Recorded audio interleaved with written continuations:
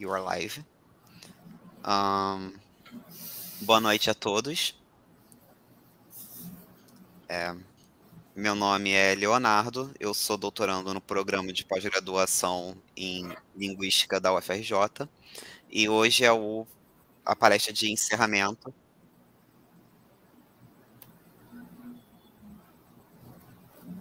Desculpa, só um segundo.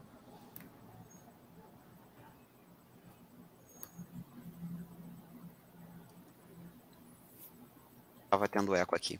É, enfim, eu começando, é, boa noite a todos. É, meu nome é Leonardo, eu sou do é, doutorando no programa de pós-graduação em Linguística da UFRJ e bem-vindos à palestra de encerramento da segunda semana de Inglês Internacionalização do PPG Linguística, UFRJ. É, ao longo dessa semana, nós oferecemos é, palestras com diversos convidados falando sobre é, tópicos relacionados a inglês e internacionalização, sendo hoje a última palestra, e não poderíamos fechar com uma palestrante melhor do que a professora Cintia, Cintia Rabelo, que será apresentada em breve pela Maida. Uh, só lembrando a todos, é, avisando a todos, que esse evento ele é oferecido pelo PPG Linguística e organizado por discentes voluntários, é, membros das comissões de proficiência em inglês e da comissão de eventos do nosso PPG, que oferece diversos eventos ao longo do ano. Uh, lembrando a todos, e aí eu vou deixar os links no, aqui no chat, que nós divulgamos os nossos eventos pela nossa página no Facebook, nossa página no Instagram, e eu vou deixar eles, é, deixar os links aqui para curtirem, é, para as pessoas poderem seguir, e já também avisando que em breve nós teremos a, os mini cursos da Escola Aberta de Linguística organizado pela comissão de eventos, da qual a Maida, que está aqui conosco, faz parte. Uh, agora eu vou passar a palavra para a Maida, desejo a todos um bom evento e eu já inicio agradecendo a professora Cintia Rabelo por ter muito gentilmente aceitado é, dedicar seu tempo é, e sua experiência ao nosso evento. Muito obrigado. Boa noite. É, então, para encerrar com chave de ouro essa semana, teve muitas palestras muito boas, muito é, que acrescentaram muito para a gente. É, estamos aqui com a professora Cíntia Rabelo. Ela é doutora em Linguística Aplicada pela Universidade Federal do Rio de Janeiro. Ela fez estágio doutoral na Open University, na Inglaterra é, atualmente, ela é professora adjunta de língua inglesa no Departamento de Letras Estrangeiras Modernas, no Instituto de Letras da Universidade Federal Fluminense, a UF, é, e também dá aula no programa de pós-graduação em Estudos de Linguagem. É, ela é coordenadora do Laboratório de Formação de Professores de Línguas e Tecnologias Digitais e integrante do GT de Linguagem e Tecnologia da Ampol. Bom, ela trabalha com muitas coisas, tem interesse em muitas coisas, mas o foco dela é principalmente ensino de língua inglesa, ensino e aprendizagem de língua estrangeira, é, tecnologias digitais e educação, e aprendizagem de línguas mediadas por tecnologias digitais. Então, pensando nisso, ela vai falar um pouquinho sobre isso para a gente, sobre essas potencialidades e sobre essas tecnologias digitais na aprendizagem do inglês. Professora, muito obrigada por estar aqui hoje. É, você tem uma hora e meia, mais ou menos, e lembrando a todo mundo que as perguntas podem fazer ao longo da palestra. Mandem as perguntas, falem suas dúvidas, é, e no final da palestra a gente vai tirar um tempinho para responder. Muito obrigada, boa apresentação, até daqui a pouco. Boa noite a todos e todas. Quero começar agradecendo o convite do, do Leonardo para falar aqui hoje, conversar um pouquinho hoje com vocês sobre as potencialidades das tecnologias digitais de aprendizagem de inglês como língua adicional, né? Falar da minha satisfação de participar é, desse evento, né? Dessa segunda semana de inglês internacionalização do PPG de Linguística da UFRJ. Agradecer a Maida pela apresentação, né? E espero que a gente tenha aqui uma conversa, né? Vocês podem mandar as perguntas aí no chat. Eu vou tentar acompanhar aqui, respondendo, para a gente tentar manter assim, uma conversa mesmo, né? Bem dialógica. É, vou compartilhar várias tecnologias com vocês, tá? E no final, é, a equipe que está organizando aqui, o Leonardo e a Maida, vão compartilhar o link da, da apresentação com todos os links, tá? Então não precisa anotar, né, correr para pedir link, porque vai estar tudo na, na apresentação, ok? Então, é, passando essa parte né, de agradecimentos, eu queria falar também da minha felicidade de estar aqui, né? Como o Leonardo estava falando, né? A gente aceita sempre esses convites com muita satisfação, ainda mais porque eu venho da UFRJ, né? Toda a minha vida acadêmica foi na UFRJ, fiz minha graduação em letras, aí no Instituto de Letras, depois fiz meu mestrado em tecnologia educacional nas ciências e na saúde, no NUTES, né, também da UFRJ, mas ali perto da, da Faculdade de Medicina, e depois retornei para o Instituto de Letras, para o programa interdisciplinar de linguística aplicada, né, onde eu fiz um doutorado com uma pesquisa voltada né, para a formação de professores e o uso de tecnologias digitais, que tem sido meu foco de pesquisa nesses últimos 10 anos, digamos, né? Então, como a Maida falou, é, eu coordeno esse laboratório, que é o Lab Línguas, da, da UF, que eu recomendo, né? Quem quiser é, seguir, a gente tem uma página no Instagram, temos um site que depois eu compartilho com vocês. E a gente oferece diversas oficinas, palestras, minicursos, voltados sempre para o uso de tecnologias no ensino e aprendizagem de línguas. Né? E então, quando o Leonardo me fez esse convite de vir aqui hoje, foi com muita alegria que eu aceitei, né? Porque é algo que eu lido, né? Bastante, estou bastante voltada para essa parte, principalmente no que diz respeito à formação de professores. Então, eu organizei aqui a minha palestra hoje, né? Com dois objetivos principais.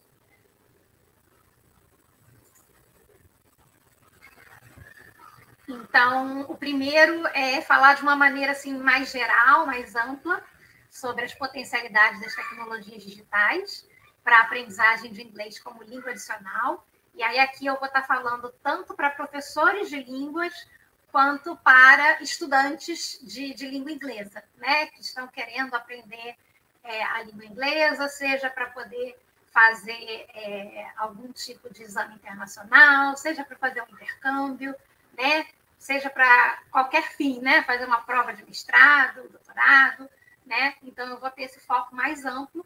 E aí depois, então, a gente parte para falar das tecnologias em si. E aí eu vou compartilhar alguns sites e aplicativos que eu selecionei, porque são existem muitos, né? Então a gente não teria tempo aqui de, de falar de todos, mas eu selecionei alguns aqui para a gente conversar. E aí, se vocês conhecerem outros e quiserem compartilhar, eu já convido vocês também a irem compartilhando no chat, né, outras ferramentas que vocês utilizam, né? Então, eu vou apresentar esses sites e aplicativos para o desenvolvimento de habilidades linguísticas em língua inglesa. E aí eu vou separar essas habilidades, né, em produção escrita, produção oral, compreensão escrita, compreensão oral, prática de vocabulário de gramática e prática para exames internacionais, né? Então, foi mais ou menos assim que eu organizei a, a apresentação e depois, no final, também vou compartilhar um outro site que eu criei para os meus alunos na, na UF, né, de primeiro, segundo, terceiro período do curso de letras, também com uma compilação de vários recursos né, para o autoestudo da língua inglesa. Ok? Então, assim, só como uma pequena introdução, né, quando a gente fala de língua inglesa e tecnologias educacionais, tecnologias digitais, né, a gente tem que lembrar que existe uma relação muito estreita né, entre tecnologias e ensino de línguas, principalmente de língua inglesa. E aí eu trago aqui um, um texto do Lefa, de 2006, em que ele fala que o ensino de línguas sempre foi mediado por alguma tecnologia.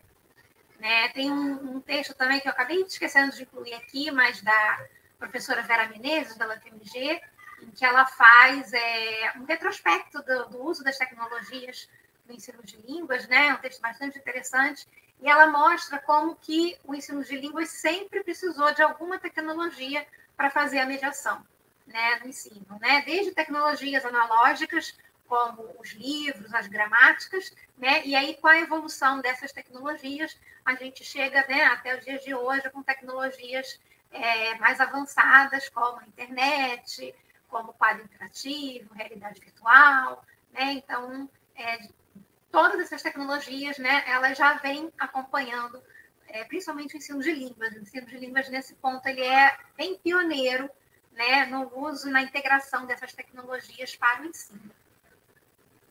E aí eu trago um outro uh, artigo também, de 2005, de Jarvis, uh, que fala também dessa relação né, da, do ensino de línguas e as tecnologias. Então, ele diz que o ensino de línguas e as tecnologias digitais sempre andaram de mãos dadas, né? então tem essa relação é, né, muito imbricada, e que as mudanças no ensino de línguas e, nas, é, e que os avanços tecnológicos eles vão trazer mudanças tanto no ensino de línguas quanto nas próprias línguas, né? Então, a cada vez que a gente vai usando mais tecnologias, né, a gente vai percebendo mudanças na metodologia, nas metodologias de ensino e também na própria língua, que vai evoluindo, vai incorporando né, diferentes ah, palavras né, e se modificando por conta desse uso né, na internet. E aí também falar para vocês sobre um campo específico é, na linguística aplicada, que é o campo COL, que vem de Computer Assisted Language Learning, ou aprendizagem de línguas assistida ou mediada por computadores, que é um campo bastante ah, atuante, tanto em pesquisa quanto em prática, sobre o uso de tecnologias no ensino de línguas. Né? Então, ele é um campo que ele tem surgimento mais ou menos na década de 80, né? Então, a gente já tem aí quase 40 anos né, desse campo na linguística aplicada. E no Brasil, né, a gente comemorou ano passado, teve até uma edição especial da revista Linguagem e Ensino, 30 anos de colo no Brasil. Né? Então, apesar da gente já ter essa longa história, esse longo caminho de pesquisa e prática é, no ensino de línguas mediado por tecnologias, infelizmente, esse campo ainda é desconhecido é, por muitos professores né, de línguas e que acabam não utilizando essas tecnologias nas suas aulas, não integrando essas tecnologias nas suas aulas, e principalmente isso ainda é mais sério, né, quando a gente pensa no curso de letras, quando a gente está formando professores de línguas que vão sair para o mercado e que vão precisar trabalhar com essas tecnologias nas suas práticas pedagógicas. Né? Então, eu sempre gosto de, de fazer minhas apresentações é, ressaltando a importância é, desse campo de pesquisa, né? e que foi um campo, é um campo é, interdisciplinar, transdisciplinar, né? Porque nós temos várias disciplinas aí integradas, tem a educação, tem a psicologia, né? A própria área de, de letras, de ensino de línguas, né? E é importante que a gente é, divulgue, né? E que a gente busque cada vez mais ter uma formação em call, né? Para poder fazer um uso é, crítico, criativo dessas tecnologias no ensino e na aprendizagem de línguas, né? E não simplesmente fazer uma subutilização das tecnologias, como vemos muitas vezes, é, apenas né, o uso, por exemplo, de retroprojetor para poder apresentar um vídeo ou apresentar uma apresentação em PowerPoint. A gente sabe que as tecnologias digitais elas vão muito além, né? Então tem, vamos falar aqui de várias potencialidades dessas tecnologias então, é, eu gosto muito de falar e reforçar né, é, a importância desse campo para o desenvolvimento da formação de professores é, de línguas. Então, indo agora especificamente para o tema né, da nossa conversa, que são as possibilidades, aqui também eu elenquei apenas algumas, tá? Se vocês conseguirem pensar em outras possibilidades, podem incluir aí no chat, que eu vou, vou adorar tá? Mas pensando aqui, né, uma primeira possibilidade é a aprendizagem no mundo real, né? A gente não pode esquecer que nós vivemos numa cultura digital, né, ou a cybercultura, que é definida é, por Edmé Santos como a cultura é, contemporânea permeada por tecnologias, né? Então as tecnologias fazem parte do nosso dia a dia, né? A gente não consegue passar, né? Pelo menos eu não consigo passar um dia, né? Sem usar alguma tecnologia digital, seja computador, seja celular, tablet. Então a gente está muito, né? A gente vive essas tecnologias no nosso dia a dia. E a educação não pode se afastar, né? Da nossa realidade, da nossa vida cotidiana. Então, é importante que a educação, no caso, o ensino de línguas, é, incorporem essas tecnologias, né, que já fazem parte do nosso dia a dia, para poder potencializar é, o ensino e a aprendizagem de línguas. É, uma outra possibilidade aqui é o fácil acesso a materiais autênticos. Né? Eu gosto muito de falar, quando eu era estudante de, de línguas, eu comecei a estudar inglês quando eu tinha 12 anos, num curso de idiomas, né, já há bastante tempo atrás. E naquela época o acesso a, a recursos, né, materiais, era muito difícil. Né? Então, a gente tinha basicamente o livro didático, né, que o, o curso é, é, utilizava, né, e a gente tinha que comprar. Mas se eu quisesse acessar qualquer outro tipo de, de recurso complementar, era muito difícil. Né? Então, às vezes, os professores recomendavam né, que a gente lesse revistas, jornais, em inglês. E naquela época, por exemplo, eu tinha que ir até o aeroporto para, na livraria do aeroporto, conseguir comprar jornais e revistas né, é, em língua inglesa, né, que eram publicados em diferentes países né, onde a língua inglesa é utilizada. Ou então livros, né? Então tinha buscar é, livrarias como, por exemplo, a Leonardo da Vinci, lá no centro da cidade, que era especializada em, em livros estrangeiros. Então, com a, as tecnologias, principalmente com o advento da internet, é, a gente passou a ter um acesso muito fácil a, a esses materiais. Né? Então, eu não preciso mais ir até uma livraria para comprar um jornal, para poder ter acesso a, a um filme, a um vídeo, né? A gente tem esses materiais aí é, muitas vezes gratuitamente na internet, né? Eu consigo ler diversos jornais, diversas revistas online, né? É, consigo ver vários vídeos no YouTube, em outras plataformas, né? Então, todos os materiais autênticos que estão disponíveis, é, grande parte das vezes, né, de forma gratuita, que a gente pode utilizar tanto para enriquecer as nossas aulas enquanto professores, quanto é, o próprio estudante para ele poder praticar né, a língua. Né? Temos vários audio, audiolivros, né, audiobooks, que vocês podem baixar na internet. Então, são muitos os recursos. Né? Então, o que não falta para a gente é a possibilidade de estar em contato com a língua né, através desses materiais autênticos. Outra questão são as várias linguagens e mídias. Né? Então, Antigamente, a gente ficava muito restrito a textos escritos, né? Como eu falei, jornais, revistas, às vezes um pouco de áudio. Eu não sei aí quem é um pouquinho mais velho deve lembrar de uma revista Speak Up, que era vendida na, no jornaleiro, que era uma revista voltada né, para quem estava aprendendo línguas, e aí vinha com a fita cassete ainda naquela época, né? E agora na internet a gente tem realmente essa várias linguagens, várias mídias, vídeos, é, podcasts, é, hipertextos, né, com links que vão ligar a outros textos, outros materiais. Então, essa é uma grande possibilidade né, que a, a, as tecnologias nos trazem. Uma outra possibilidade que eu gosto muito é a comunicação real usando o idioma-alvo, através do que a gente chama CNC, que é o Computer Mediated Communication né? Então, a, a comunicação mediada por computadores.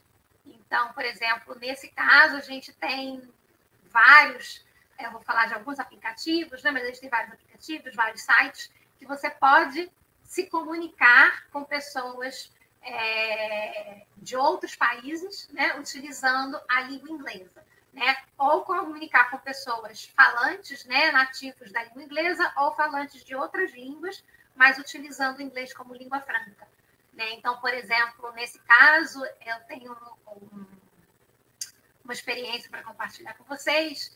que é de um intercâmbio virtual, né? Então, esse é um campo também bastante estudado dentro do, do campo POL, que são os intercâmbios virtuais, e eu participei junto com algumas turmas minhas na UF, né, de um intercâmbio virtual que é promovido por uma universidade no Japão, né, e a universidade tem parceria com várias universidades no mundo todo, né, e aí, no caso do, do, do intercâmbio que a gente fez, era a, a, minha turma de inglês, né, nos níveis iniciais, inglês 1, 2 e 3, e eles se comunicavam com estudantes no Japão e na Venezuela, né, desculpa, na Colômbia, utilizando o inglês como língua franca. Né? Então, eram estudantes em universidades japonesas e colombianas que estavam aprendendo inglês, né? E aí, através desse intercâmbio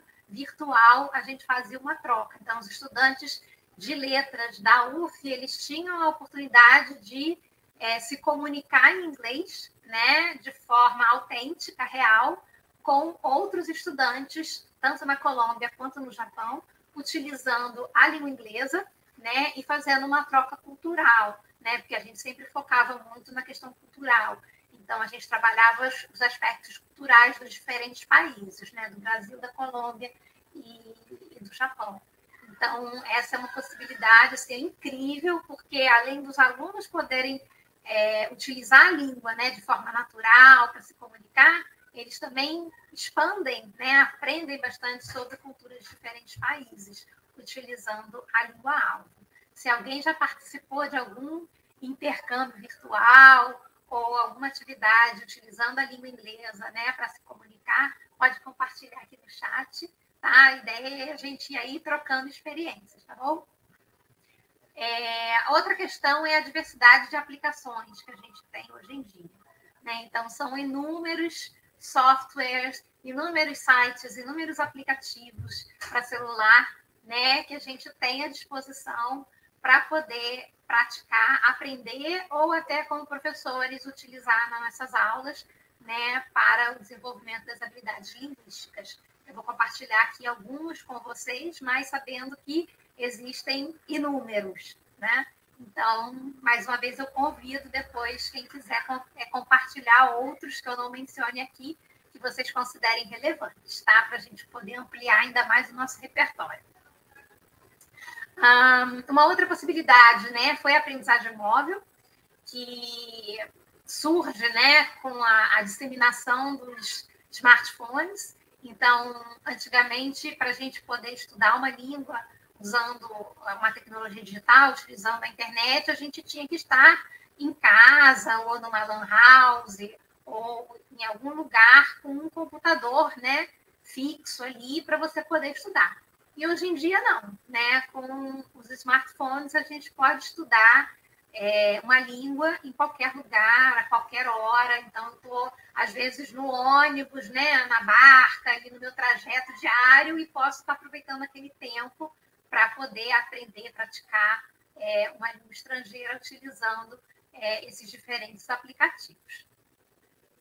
Outra possibilidade que eu gosto muito é a possibilidade de expansão da sala de aula física. Né? Quem é professor de línguas e também estudante, né, sabe que o tempo para você aprender uma uma língua estrangeira é, em cursos regulares ou na própria universidade, ele é muito pouco se considerado, né, assim, com as nossas necessidades, né? Então, por exemplo, é, no curso de letras da UF, a gente tem duas aulas de 60 minutos por semana, é um tempo até considerável, né? Mas pensando assim, em desenvolver uma proficiência na língua, é um tempo insuficiente, né? Então, com isso, a partir do momento que eu tenho tecnologias que me permitem estudar, praticar a língua fora da sala de aula, né? A sala de aula não é o único lugar onde eu posso praticar a língua, eu posso praticar fora dela, eu amplio aí as minhas possibilidades, o meu tempo de contato com a língua, de prática com essa língua. Então, essa é uma das minhas potencialidades ou possibilidades favoritas, né? Então, a aprendizagem não fica restrita apenas à sala de aula física. A gente expande isso com o uso das tecnologias. E mais recentemente, né, com o avanço das tecnologias de realidade virtual e virtualidade aumentada, a gente passa a ter também experiências imersivas. Né? Então, é, pensando em possibilidades, essas tecnologias, como por exemplo de realidade virtual, já há vários aplicativos que você consegue é, interagir usando a língua-alvo imersos num ambiente, né? Então, você utilizando aquele óculos de realidade virtual, por exemplo, você consegue se meio que teletransportar. Perdão, gente, eu tô com uma pouquinho de A gente consegue se teletransportar para um outro ambiente, né, virtual e utilizar a língua, praticar a língua. Alguém consegue pensar em outra possibilidade que não esteja aqui no quadro? Se pensarem, coloquem aí no chat, por favor. Se quiserem também fazer alguma pergunta, algum comentário, também fiquem à vontade, tá? Então, né, já que a gente tem tantas possibilidades, eu trouxe agora aqui dois trechos de autores que eu gosto bastante é, que estão nas minhas pesquisas, né, voltadas para a necessidade. Por que, que a gente deve utilizar essas tecnologias nas nossas aulas? Né? Então, o primeiro deles, que é um texto de vários autores, né, entre eles Golonka, vai falar que, na melhor das hipóteses, a inovação tecnológica pode aumentar o interesse e a motivação do aluno, fornecer aos alunos maior input da língua-alvo, oportunidades de interação e feedback, e fornecer aos instrutores um meio eficiente de organizar o conteúdo do curso e interagir com vários alunos. Né? Então, aqui falando do uso das tecnologias pelos professores né, nas suas aulas.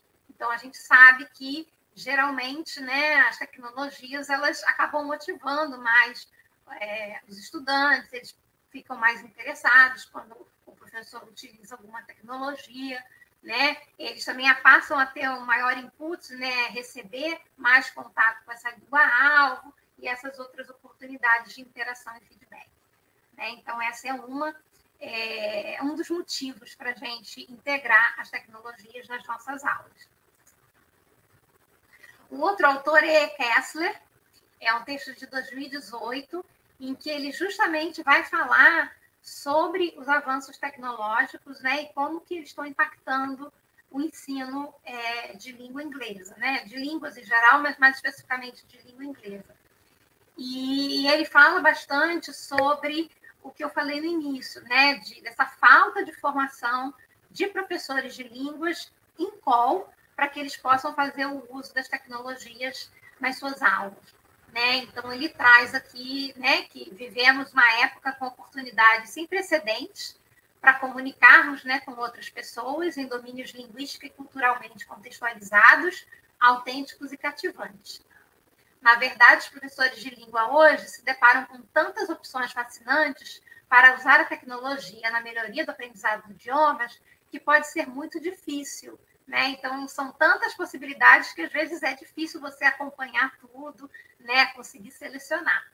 Mesmo para aqueles que têm inclinação para experimentar tecnologias emergentes, pode ser desafiador identificar quais recursos, ferramentas ou sites da web podem ser mais adequados para uma lição, atividade ou objetivo específico. Também estamos ensinando estudantes que esperam que usemos tecnologias sociais de maneira alinhada com suas práticas sociais estabelecidas. A gente falou da cybercultura, né? Então, estamos todos imersos nessa cybercultura. A gente espera que o mesmo uso que a gente faz das tecnologias do nosso dia a dia seja feito na, na educação, na sala de aula. Né? Então, na verdade, o uso de tal tecnologia se tornou tão ubíquo em nossas vidas diárias que sua ausência em nossa sala de aula é bastante notável. Né? E isso é algo que a gente ainda tem percebido. Né? Eu espero que, é, após né, a experiência que a gente teve com a pandemia, que essa realidade realmente se modifique.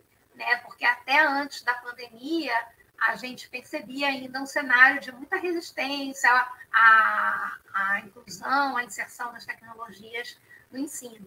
Né? E aí veio a pandemia, todos tivemos que nos adaptar, aprender a usar essas tecnologias para poder dar continuidade né, ao ensino. E aí eu espero que essa lição a gente tenha realmente aprendido e que a gente continue utilizando, fazendo uso dessas tecnologias nas nossas práticas de sala de aula, né, tanto presenciais, quanto online, quanto híbridas.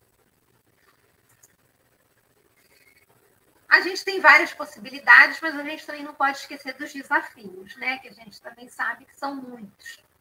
E o primeiro deles, então, é a falta de infraestrutura. Né? Então, quando a gente pensa em infraestrutura numa universidade ou numa escola, né, a gente pensa na falta de equipamentos e de conexão adequada. Né? Então, a gente sabe que é, muitas escolas não têm acesso a, a, equipamentos, a computadores, a tablets, celulares, né? Às vezes até tem, mas aí a internet não funciona, ou não funciona de maneira é, constante, né? Para que a gente possa realmente fazer um uso é, cotidiano dessas tecnologias.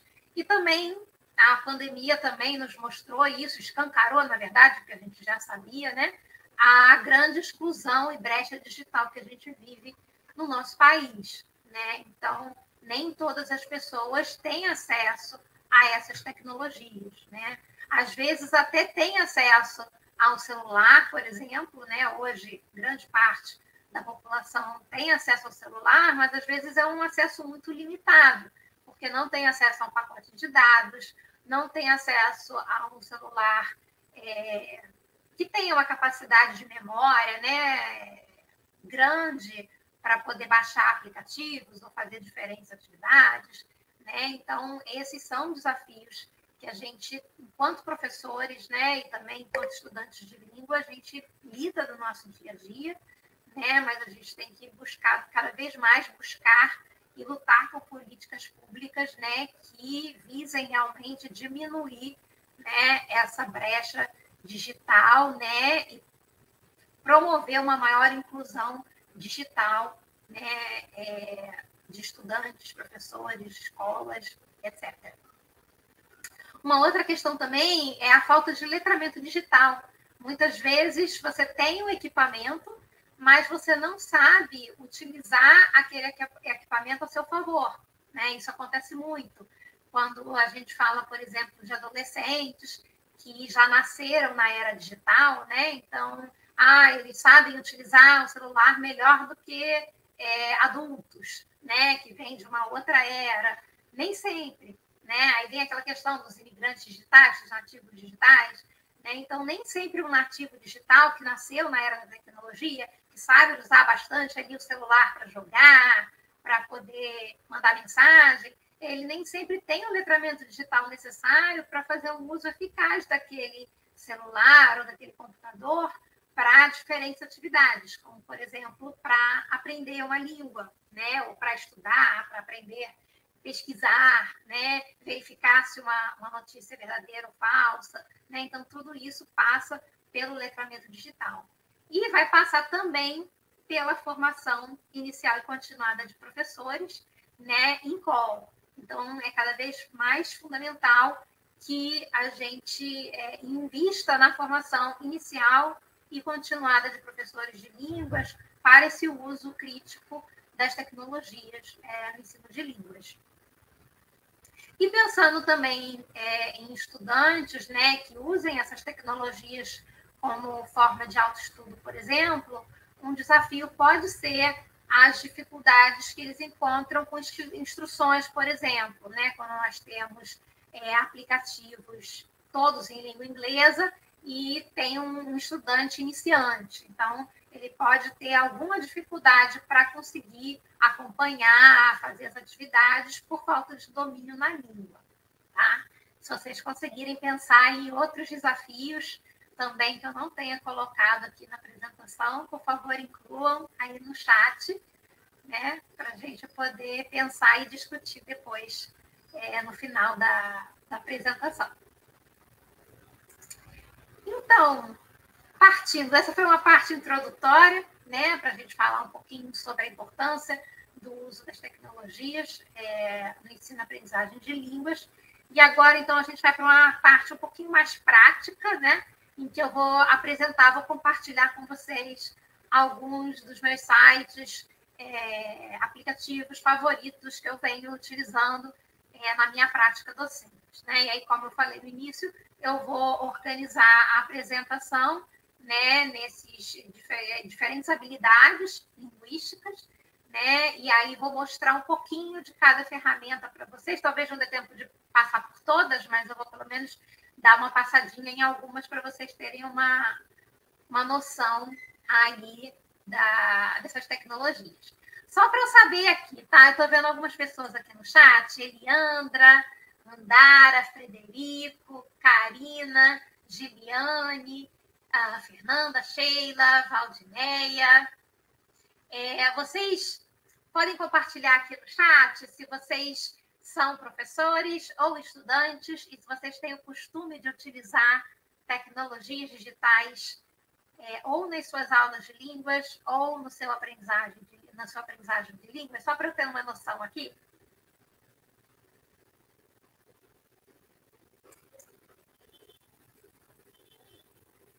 Vocês utilizam alguma tecnologia, quais tecnologias vocês usam.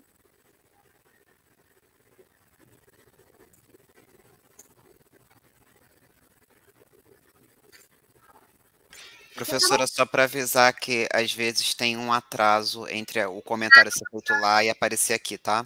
Verdade. É um atraso pequeno, mas só para avisar.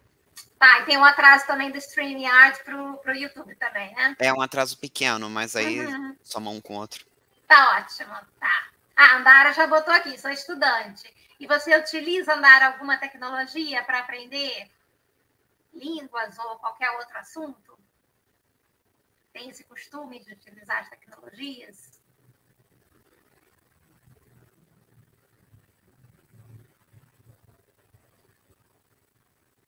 Enquanto o pessoal vai respondendo, eu vou, vou avançando aqui, tá? Mas é legal se vocês puderem aí compartilhar um pouquinho da experiência de vocês para a gente poder conversar. Então, começando aqui com produção escrita, né? eu selecionei aqui três é, tecnologias né, que eu gosto é, e tenho utilizado né, para trabalhar é, com estudantes, a parte de produção escrita. Ah, Leonardo colocou monitor se filtrando no chat. Uso muito Quizlet. Legal, Leonardo. Eu adoro Quizlet também, vou falar um pouquinho dele. Legal. Podem ir compartilhando aí, tá? E deixa eu ver que eu mudei sem querer o slide. Então, o primeiro aplicativo que eu vou mostrar para vocês é esse aplicativo Write and Improve, que é da Cambridge. Aplicativos como Duolingo, legal, Andara. E acabei que eu nem botei aplicativos é, como Duolingo, né? O Buzu, entre outros que a gente tem aí de línguas mas depois eles, algum deles aparecem lá no, no site que eu vou compartilhar com vocês. Então, o primeiro, como eu falei para vocês, é o, o Write and Improve da Cambridge. Eu já deixei ele aberto aqui para vocês. Vários desses aplicativos que eu vou mostrar para vocês, eles são aplicativos, ou aplicativos que são totalmente gratuitos, ou parcialmente gratuitos tá? Então, algumas ferramentas, algumas coisas que você queira fazer, talvez você não consiga, você tenha que pagar para poder ter acesso, tá? Mas a maioria deles aqui tem pelo menos alguma parte gratuita que vocês podem utilizar, tá? Valdinéia também é estudante, a Sheila é professora de língua espanhola e estudante de língua inglesa. Utilizo vídeos educativos no YouTube, Netflix, que são acessíveis. Ótimo, Sheila. Isso, isso é muito legal, né? Tanto o YouTube quanto a Netflix, né? Eles permitem a você colocar as legendas. Então, isso para o estudante é muito bom. Você conseguir acessar um, um vídeo com a legenda no idioma original, né? Não colocar o português, porque aí você acostuma treinar, né, a sua escuta, né, com a leitura. Então esse é um recurso bastante interessante que essas tecnologias permitem. Maria Eduarda, estudante, mas nunca usei nenhuma, só o ensino tradicional. Que pena, Maria Eduarda. Espero que hoje você saia daqui motivada a experimentar pelo menos alguma dessas tecnologias, porque tem, tem tecnologias muito legais, muito boas, assim, que ajudam bastante né, a gente a aprender, praticar um idioma. Né? Então, o primeiro que eu falei para vocês é o Write and Improve, da, da Cambridge. É, ele tem uma versão para professor e uma versão para aluno, tá? Mas, como eu falei para vocês, alguns... É, algumas aplicações você tem que pagar, né? Então, para você utilizar, por exemplo, você pode criar turmas, no caso do professor, esse meu perfil aqui é de professor. Então, eu posso criar é, turmas e criar cadernos para os meus alunos, né? Pra, e passar atividades para eles dentro da plataforma, né? Então, é, esse é um recurso que começou como gratuito, quando eu criei aqui, eles eram, eles eram gratuitos, né? Mas depois de um tempo, eles começaram a cobrar para poder fazer essa parte de, de workbook. Mas aí você tem aqui essa possibilidade de criar um workbook ou se juntar a um workbook, caso o professor compartilhe com os alunos. Mas o legal do, do Write and Improve é que ele, ele é um, um site né, voltado para a melhoria da escrita. Né? Então, você pode entrar aqui e escolher o seu nível de inglês, por exemplo, né, que você está trabalhando. Eu aqui coloquei pensando aí na questão da internacionalização, dos exames internacionais. Então, eles têm aqui né, alguns, é, é, algumas aplicações voltadas né, para esses exames, como o IELTS. E aí, basicamente, o que, que ele faz? Ele te dá vários textos, né, várias tarefas para você praticar, né? E você escreve o seu texto e depois você clica aqui em corrigir e ele corrige o seu texto, né? Então ele vai te mostrar o que está certo, o que está errado, ele vai dizer qual é o seu nível de acordo com o quadro comum europeu, é, conforme a sua escrita. E aí o que, que você precisa melhorar, né, para poder ter um desempenho bom, por exemplo, num IELTS, que já vai te pedir um, um nível mais avançado de inglês, né? Então, aqui um exemplo, tá, desse IELTS acadêmico. Então, o primeiro, você tem aqui essa tarefa, né? Você tem um, um gráfico, e aí você tem que fazer um resumo desse gráfico, né? E você tem um tempo de 20 minutos para fazer a tarefa, porque esses exames internacionais, vocês sabem que tem tempo para você realizar. E aí você então escreve e ele corrige para você, tá? E aí depois você tem a parte de feedback e as mudanças que ele faz no seu texto. Então essa daqui é uma das aplicações, você pode escolher aqui, por exemplo, o nível inicial, e aí você tem vários é, prompts, digamos assim, né? Com tópicos para você poder escrever e praticar. Então, esse é um site que eu recomendo sempre para os meus alunos, né? Principalmente os alunos iniciantes de letras, né? Que eles usem no dia a dia deles para melhorar a escrita. E eu, inclusive, é, eu trabalhava, né? Não estou trabalhando agora com essa disciplina, mas eu trabalhei muito tempo com uma disciplina de escrita acadêmica e eu recomendava que os estudantes, antes de entregarem o trabalho, né, para mim, que eles fizessem o trabalho no site, né, para que o site pudesse ajudá-los né, a corrigir a possíveis erros, né? E aí só depois, então, eles é, me entregariam o trabalho, que seria uma maneira deles aprenderem com os próprios erros, né? Então, isso aqui é só para vocês terem uma noção. Tem vários, tá, gente? Olha, se vocês virem aqui uma infinidade de tópicos, aí você escolhe, né? Qual tópico que você quer trabalhar. É lógico que ele vai pedir para você fazer aqui um preencher o seu perfil, e aí depois, então, você tem aqui o tópico tá? Ele te dá aqui o tópico, as figuras, você tem que escrever uma história, né? 35 palavras ou mais, você vai escrever, e aí depois, no final, você é, checa, né? E depois você pode acompanhar o seu progresso. É, eu estou vendo aqui, o Leonardo falou. Ah, legal. Já usa há 10 anos, muito bom. Não parei mais, exatamente. Depois que a gente começa, vicia. A gente não, não quer saber mais, a gente quer sempre aprender mais, usar cada vez mais tecnologias, né? Exatamente. Muito bom, Leonardo.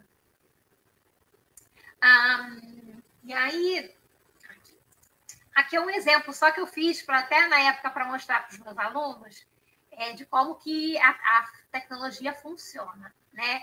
Então, por exemplo, aqui eu fiz é, uma tarefa bem simplesinha, escrevi um textinho bem curtinho, né? Cheio de erros. E aí eu pedi para ele é, verificar para mim. Então, depois que eu coloquei o texto, ele avaliou aqui o meu, meu nível, né? Ele considerou como A1, né? E ele pede para você olhar, porque ele não só corrige a sua redação, ele te diz o que está errado para você poder aprender com seus erros, né?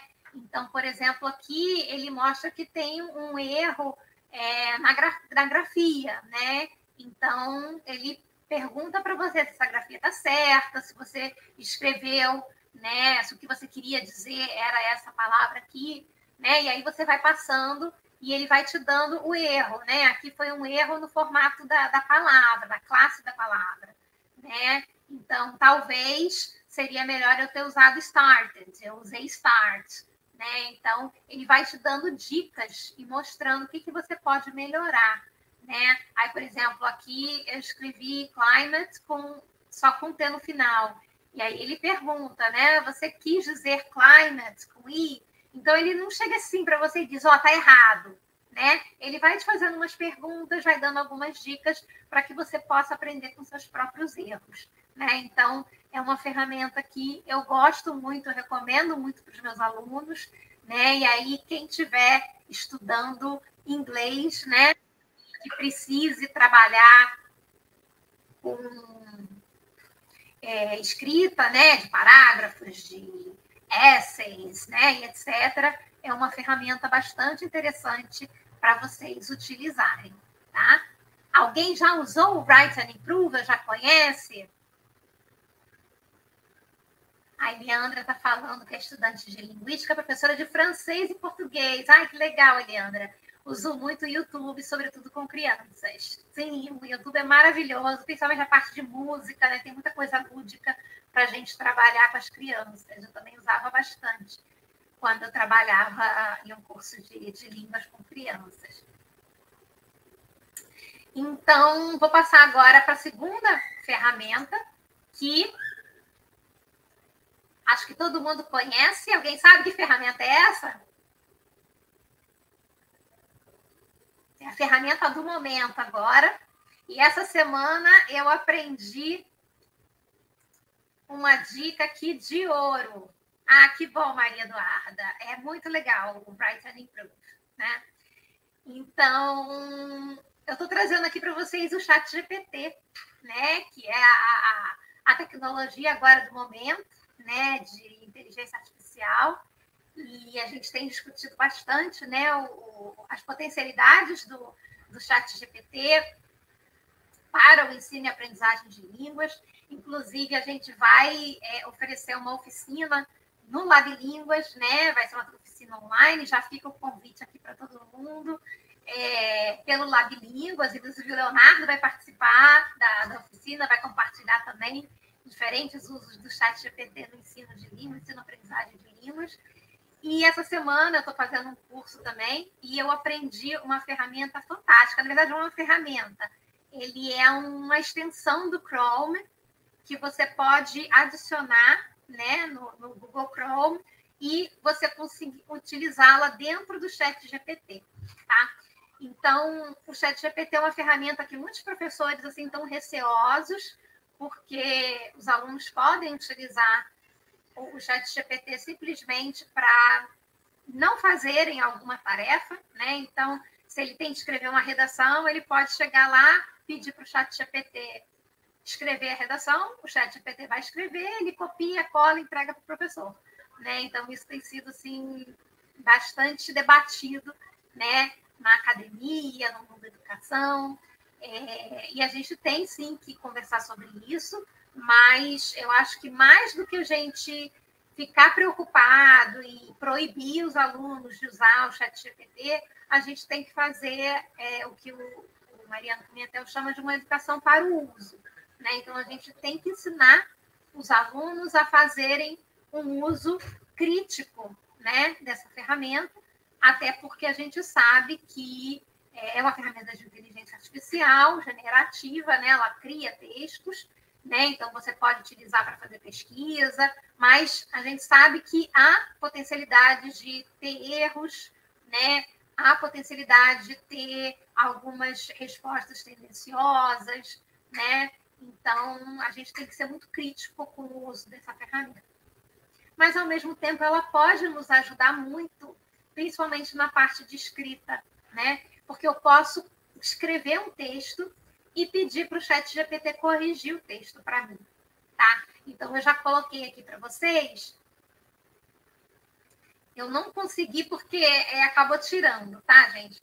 É, antigamente, antes de eu ter instalado esse botãozinho, é, quando eu chegava para o chat GPT, eu colocava assim, por favor, corrija o texto. E aí eu jogava um texto com erros, e aí ele embaixo escrevia o texto sem erro nenhum. Então, é uma maneira de eu poder aprender com os meus erros, né? Então, eu peço para ele verificar o meu texto antes de eu, de eu entregar, né? Ou de eu submeter para alguém.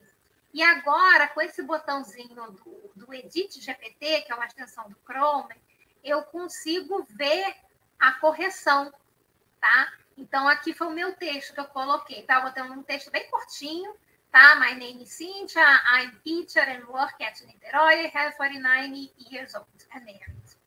E aí ele vai e corrige o meu texto mostrando todos os meus erros. E aí ele até diz aqui a, a revisão, né? Quanto do meu texto foi alterado, reescrito. Então, eu posso utilizar isso tanto para uma língua estrangeira, né? Que eu estou utilizando, que eu estou aprendendo, quanto para o português. Sendo que é, o chat GPT, quando ele foi treinado, ele foi treinado com 95% de textos em inglês. Então, ele funciona muito melhor em inglês do que em outras línguas. Né? Então, o resultado em outras línguas pode não ser tão bom quanto os resultados em inglês, tá? Então, eu vou ter aqui um exemplo do inglês só para mostrar para vocês como que essa ferramenta pode ajudar, né, a, a você corrigir, aprender com seus próprios erros, né? A gente tem vários usos para o chat GPT, a gente vai falar isso depois na oficina, mas um uso que eu gosto bastante é esse de poder corrigir, né? Mas eu posso usar o Chat GPT, por exemplo, para me ajudar a pensar ideias para uma redação que eu tenho que escrever. Então, eu posso pedir para ele gerar, né, fazer um brainstorming, gerar ideias para um texto. Eu dou o tema do texto, ele pode me dar ideias para eu começar a escrever. Né? Então, o objetivo não é mandar o chat GPT escrever por mim, né? mas ajudar o chat mas fazer com que o chat GPT escreva comigo, né? me ajudando a melhorar a minha escrita na língua estrangeira que eu estou praticando. Sim, sim, Andara. É, é, a, essa a apresentação ela está sendo compartilhada. Isso. Eu compartilhei os slides e dentro dos slides tem os links para todas as ferramentas, tá? Vocês vão conseguir achar todos os links lá. Você conhecia esse botãozinho, Leonardo, do Edit GPT? Professora, não. Já é uma coisa que eu anotei aqui para poder adicionar.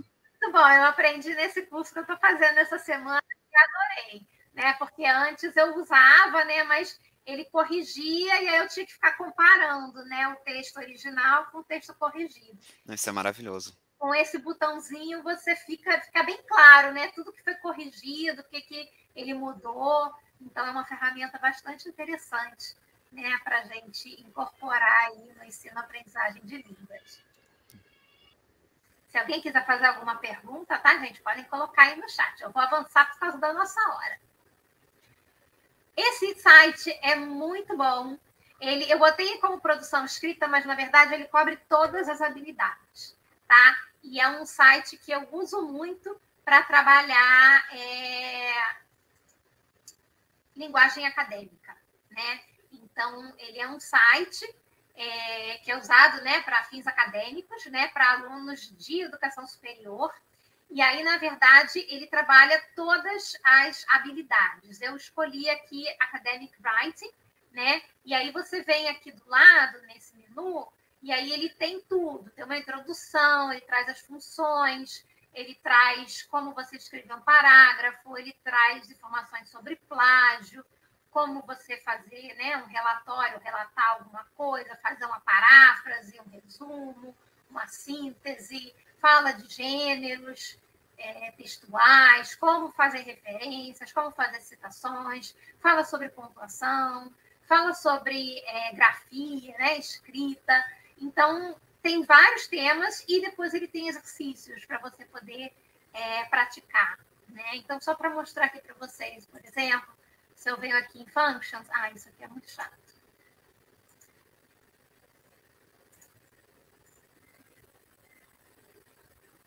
Então, ele traz aqui a, as funções retóricas né, na escrita acadêmica. Então, você tem toda a parte né, é, teórica, né? Depois ele tem vários links aqui para cada um deles com exemplos, né? E depois você vai passando por tudo e no final você tem os exercícios, né? Então, tem exercícios para cada um deles, tá? Para functions, para paragraph. Então, vários exercícios para você trabalhar escrita de parágrafo, organização de parágrafo, ordem né, das orações. Então, é um site bastante interessante, né? E aí, sempre voltado para temas acadêmicos né?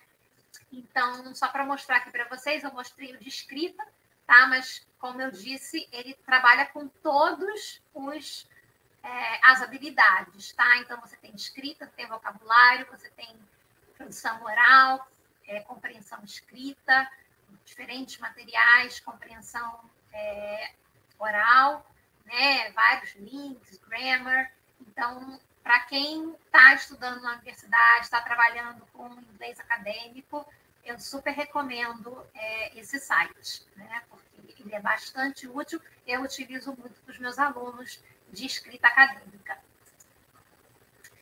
E aí, então, esses foram os três que eu selecionei para a produção escrita. Se alguém utilizar algum outro site para trabalhar a produção escrita e quiser compartilhar aqui no chat com a gente, pode compartilhar porque a gente vai ampliando aqui esse nosso repertório, tá? Passando agora para a produção oral. Também selecionei três, tá? Mas eu só vou conseguir mostrar para vocês o, o, primeiro, que é o Flipgrid, que agora, na verdade, virou Flip, não é mais Flipgrid. E é um site, esse aqui é mais para professor utilizar com os alunos, tá? E ele é muito legal, eu utilizei muito durante a pandemia, com, os meus alunos, e ele, inclusive, tem uma integração com o Google Sala de Aula. Então, você pode criar uma tarefa no Google Sala de Aula e integrar o Flip, né? Criar a sua turma lá, né?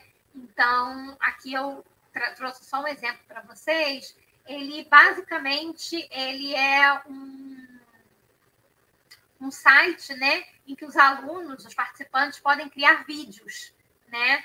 Ou áudios né, sobre um determinado tema. Né? Então, aqui eu, por exemplo, eu, a gente tinha trabalhado uma, uma lição que falava sobre a questão da água, né, sobre sustentabilidade. E aí, então, eu pedi para que os alunos compartilhassem um vídeo com a opinião deles, né, sobre o que, que eles aprenderam em relação ao tema daquela semana e se eles tinham dicas, né, para a gente poder aí economizar água. E aí os alunos gravam os vídeos, os vídeos ficam aqui disponíveis, eles podem ver os vídeos uns dos outros, o professor pode comentar, pode dar feedback, né? Então é uma ferramenta muito legal para a gente trabalhar, poder avaliar a, a produção oral dos nossos alunos. Alguém aqui já conhecia o Flip?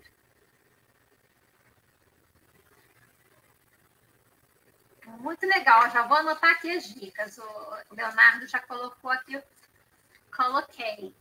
É isso aí? para escrever um resumo. Muito bom, legal. Pode falar sim, Leonardo, que esse eu não conheço. Então, esse é o Flip, tá? Ele é gratuito. É, ele foi comprado pela Microsoft e você consegue, inclusive, entrar nele com a sua conta do Google ou com a conta do, do Microsoft. E ele tem essa parte bem educacional. Então, você consegue vincular uma instituição, entrar com o seu é, e-mail institucional, criar turmas. Né? Então, por exemplo, aqui eu criei essa turma de língua inglesa. E aí, dentro da turma, você pode criar várias atividades. Tá? Então, por exemplo, dessa turma aqui, é, eu criei quatro atividades para eles durante o semestre para eles é, compartilharem, tá? E aí você vai criando as turmas e as atividades dentro de cada de cada turma para a produção oral. Esses dois outros aplicativos, vai estar tá o link aqui depois para vocês entrarem, tá? A Elsa é, é um aplicativo de. Os dois, na verdade, são aplicativos de inteligência artificial para vocês poderem praticar a parte oral. Esse é um grande problema né, que a gente tem, principalmente os estudantes, porque muitas vezes a prática fica restrita à sala de aula. Eu só consigo praticar a, a, oralidade quando eu estou na aula, né, para conversar com o professor, conversar com os colegas. E aí, nesse sentido, essas tecnologias vêm é, ajudar bastante, facilitar bastante, para que você possa fazer essa prática é, fora da sala de aula. Então, é, a Elsa é uma, tá? Inclusive, ela tem um aplicativo que você pode baixar para o celular, e aí você grava, é, você interage, né? Tem é um chatbot, né? Um robô de conversação, que você vai conversando, você pode gravar, você pode trabalhar a sua pronúncia, escutar o que você gravou, né? Para você poder autocorrigir, ter uma consciência né, da sua pronúncia. E o Speak and Improve, que é também da Cambridge, e é mais ou menos o segue mais ou menos né, a ideia do write and improve, né? Então aqui a gente não vai conseguir por causa do áudio, tá? Mas ele basicamente funciona. Você escuta as perguntas e ele vai fazer perguntas e você tem que responder as perguntas em inglês, né? E aí você tem um período aqui para responder. Você não pode demorar muito tempo para responder, não.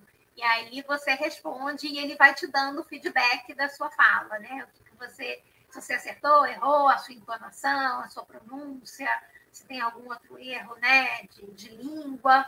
Então, uma ferramenta também bastante interessante que eu sugiro que vocês testem, né? Aí quem está estudando inglês, é, para poder praticar, tá? Ah, legal, Maida a usar a Elsa e foi bem legal.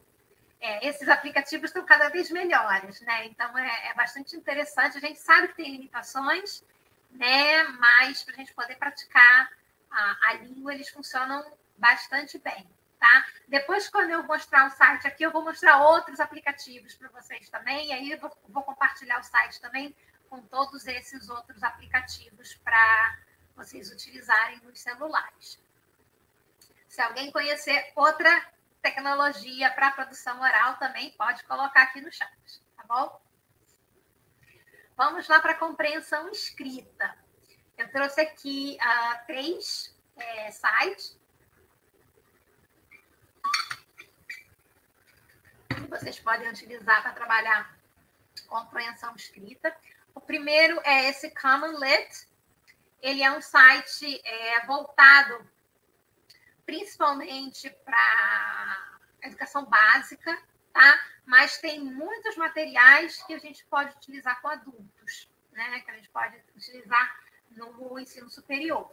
E aí, como outros sites, né, a gente tem algumas atividades gratuitas e outros materiais que você precisa fazer um upgrade, né, para poder ter acesso mas ele traz aqui dividido por séries, então, como é a educação básica, né? Ele traz aqui desde o ensino fundamental até o ensino médio, né? Utilizando o sistema americano. Você pode escolher por é, gênero textual, né? É, tipo de conteúdo que você quer trabalhar, né? E alguns padrões, né? De que você também queira trabalhar. Então, você pode fazer essa é, pesquisa por aqui, ou então você pode simplesmente vir aqui e procurar é, os materiais.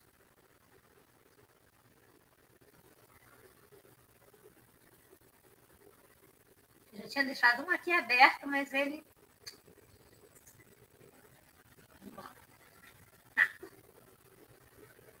Então, por exemplo, aqui só para vocês terem, tá? Esse aqui são é, milhares de é, textos, né, que estão disponíveis gratuitamente, né? Então vocês podem vir aqui, ele diz qual é o, a série, qual é o gênero, né? Quantas palavras você tem, tamanho do texto.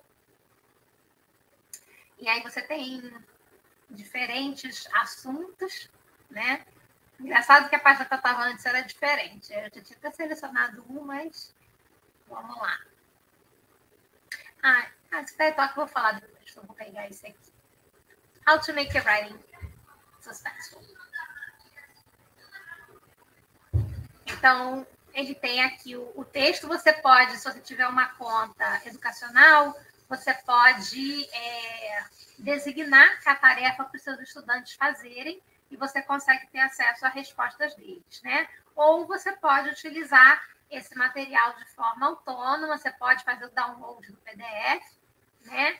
Ou pode simplesmente pedir para os alunos fazerem as atividades e mandar para vocês. Então, ele traz o texto, né? Ele pede para você é, tomar notas enquanto você lê, né? E aí ele sempre traz aqui essas esses numerozinhos aqui é uma pergunta, né? Então, até você ler esse pedacinho, chega aqui, tem uma pergunta, tá? E aí, aqui, ele vai trazendo as perguntas para checar a compreensão, tá? E aí você vai utilizando. Não está aparecendo o botãozinho aqui embaixo. Mas você tem várias perguntas de compreensão, tá? E depois também no final tem essa avaliação para você é, ter uma visão mais geral da, da, compreensão do texto, e ele traz também uma proposta de discussão para você fazer com os alunos depois. Né? Então, aqui tem para você pensar né, um livro, um filme, um, um, programa de TV, né, e falar como é que o, o autor criou suspense né, para audiência. E aí também traz um, um vídeo aqui sobre como fazer uma discussão de forma efetiva. Então, muito material para os professores utilizarem com os alunos, traz notas, traz definição de algumas palavras, né, que são é, que ele considera um pouquinho acima, né, do nível esperado dos alunos. E foi um material que eu utilizei bastante também durante a pandemia, né, com, com os alunos. Tem essa possibilidade de read aloud, então os alunos conseguem escutar o texto né? Eles conseguem fazer anotações, né? E tem a opção também de traduzir, né? Então, é um site bastante interessante voltado para o trabalho com leitura de textos. Apesar de ser voltado para a educação básica, eu acho que dá para adaptar perfeitamente para o ensino superior.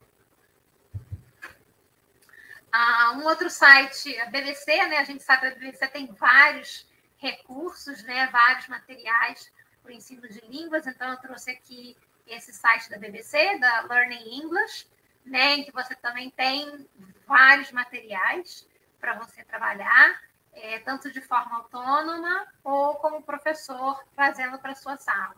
Né? Então, você tem aqui vários é, pronúncia, teste seu nível, quizzes para você fazer, é, prática de gramática e vocabulário, é, escrita acadêmica, é, tem inglês para negócios, história para as crianças. Então, você tem vários materiais. Aqui, inclusive, você tem cursos gratuitos que você pode fazer né, pelo site da BBC.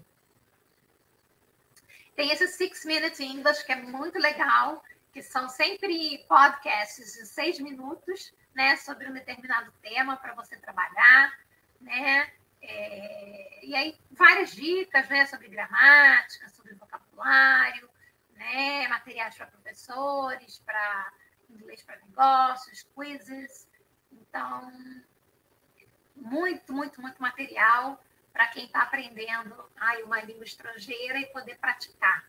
Né? E aí, baseados nas é, em notícias. Né? Então, é um material muito legal que você pode trazer para a sala de aula, até para fazer uma, uma, discussão com os alunos depois, integrar a, a, a leitura com a fala, né? com o debate. Então, gosto bastante da, da BBC. E não sei se vocês conhecem esse site News and Levels. Ah, esse site ele é bastante interessante para alunos de níveis é, iniciantes, porque ele traz, eu, tem vários materiais, eu já tinha selecionado um aqui para vocês, é, ele traz uma notícia de jornal, e aí você tem acesso aqui à, à notícia, ao podcast, né? Então você consegue ouvir a notícia. Você tem o texto, né, da notícia, e você consegue é, modificar esse texto de acordo com o nível dos seus alunos. Então, se você está trabalhando com alunos iniciantes, você pode escolher esse level 1, que ele vai trazer uma linguagem mais simples. Né? Se você tiver com alunos intermediários, você seleciona esse level 2, que ele já vai trazer um texto um pouquinho mais é, elaborado. Né? E alunos um pouquinho mais avançados, eu tenho aqui o level 3, então, é o mesmo texto, é a mesma notícia, mas ele é reescrito né, de forma que acompanhe o nível dos estudantes. Né? E aí você tem aqui né, algumas palavras né, para o vocabulário, explicando o significado. Você tem a parte de para poder escutar, tem geralmente um vídeo associado, né? E aí você tem diferentes recursos aqui também para testar, testar leitura, testar é, escrita. Então, é um site bastante interessante. Lógico, você tem aqui várias propagandas, né? E você tem outros recursos também que você pode é, utilizar de forma paga, tá? Mas esses primeiros aqui, só para vocês terem uma ideia da página inicial, ele tem para espanhol, tem para francês, tinha alguém aqui que era professora de francês, né? É, tem para alemão e tem para mandarim, né? Para o chinês. Então é bem legal. Eu nunca testei as outras línguas, né? Eu uso só o inglês, mas quem for de outras línguas pode testar. E aí você tem várias notícias sobre diversos assuntos, né? E geralmente são textos curtinhos, então é, é muito interessante para quem está precisando trabalhar a habilidade de leitura né, de forma individual, pode utilizar como recurso. Então, já passamos aqui pela compreensão escrita. Se alguém tiver alguma outra dica de algum outro site ou aplicativo voltado para a compreensão escrita, escrita, pode compartilhar aqui com a gente. Vou dar uma acelerada aqui por conta do tempo. Compreensão oral, também trouxe aqui três que eu gosto muito. O primeiro é o Web Puzzle, não sei se vocês conhecem. Ele também é um, um site gratuito, você pode criar uma conta como estudante ou como professor. Tá? No caso, a minha conta é como professora, então eu posso criar aqui minhas turmas, né? E para as minhas turmas eu posso criar atividades para eles fazerem, sempre com vídeos. Então, eu posso pegar vídeos da internet, do YouTube, ou do TED Talk, ou fazer até o upload de um vídeo meu, por exemplo, e, e criar atividades de compreensão. Né? Então, aqui só para mostrar para vocês, aqui eu tenho alguns que eu trabalhei com os meus alunos, né? Então, por exemplo, esse daqui eu peguei um, um, vídeo do TED sobre cultura, Teve um outro que foi um vídeo que eu adoro, da Chimamanda, né? Sobre o perigo de uma história única. Então, você inclui o vídeo e aí você cria a, perguntas, né? Atividades e você consegue acompanhar o progresso dos seus alunos. Como isso aqui já é antigo, ele já deletou aqui muito das, do progresso dos meus estudantes, tá? Mas para quem trabalha, está estudando, né? o legal é que você consegue pegar materiais de outros professores, que foram criados por vários professores no mundo todo, né? Então você vem aqui, você pode escolher um material, né? E fazer a atividade. Então, aqui, esse professor pegou o material do TED Ed, que é o próximo site que eu vou mostrar para vocês, e aí você assiste o vídeo, tá? Quem criou foi esses vários professores criaram, e aí, quando você está assistindo o vídeo, uma parte você clica, ele aparece uma pergunta aqui para você responder de compreensão, tá? E aí depois no final o professor recebe a, as respostas dos alunos, ou se você estiver fazendo por conta própria, se forem perguntas de múltipla escolha, você consegue ver o seu resultado, tá? Então, o Edpuzzle é um, um site que eu também gosto muito de, de utilizar para poder criar atividades de compreensão oral para os alunos. A Leandra vai olhar o francês, legal. Depois você conta para gente se você gostou. É, o TED Ed, não sei se vocês conhecem, é, a gente tem o TED Talks, né, que é bastante famoso, e a gente tem uma página do TED Talks que é voltado para a educação. Então, são vários vídeos é, mais curtos sobre temas é, diferentes, né? Então, você pode é, acessar como estudante, pode acessar como professor, né? Ou então como é, pais, né? No caso, eu tenho uma conta como professora, na qual eu posso criar as minhas perguntas né, em cima de vídeos, ou eu vou mostrar aqui para vocês como estudante que você tem acesso aqui a várias lições tá? sobre diferentes assuntos. Agora estamos perto do Halloween, então vários materiais aqui sobre Halloween, tá? Mas a gente tem sobre vários assuntos diferentes, tá? Assuntos às vezes bastante interessantes.